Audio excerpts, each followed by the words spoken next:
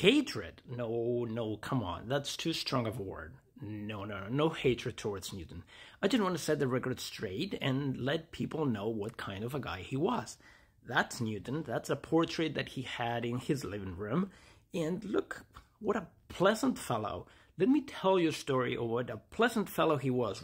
Right about this era, when this art was painted, Newton was king of the hill. He had fabricated his own image and he was very well respected in all of England. So much so that his friends thought he needed a very important appointment in government.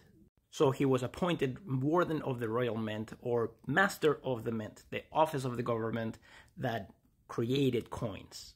It was supposed to be some sort of honorary appointment for Newton, but Newton being Newton, he took it extremely seriously and he started persecuting anyone who was involved in counterfeiting, in creating fake coins. That was the case of William Chaloner, who ran some complicated counterfeiting operation. Uh, Newton discovered this, trialed him, and put him in jail. But Chaloner had friends in high places who got him out of jail.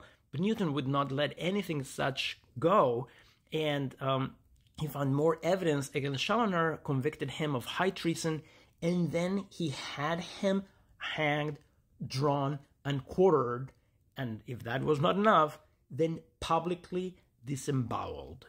If you're curious what that means, go to the Wikipedia page for hanged, drawn, and quartered. Um, I'll just say this not for the faint of heart. So, yeah, what a pleasant fellow.